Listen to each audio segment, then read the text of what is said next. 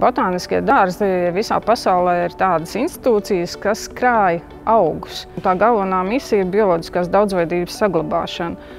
Un to dara veicot trīs tādus pamatu uzdevumus - pētot augus, krājot un audzējot viņus un izglītot sabiedrību, kā arī speciālistus.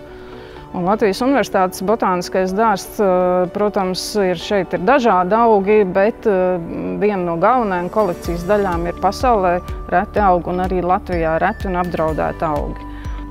Šeit mūsu kolekcijā redzam dižā volēmī, kas Austrālijā aug apmēram 100 koki dabā savvaļā, un līdz ar to tie dārzi pasaulē, kas arī viņus audzē kaut vai vienu koku, dod nopietni ieguldījumu sugas saglabāšanā.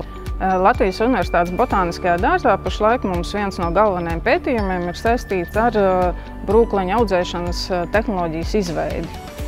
Un augu audu kultūra laboratorijā izmēģinām, kā šo procesu veikt, izmantojot sterilās merestēm kultūras.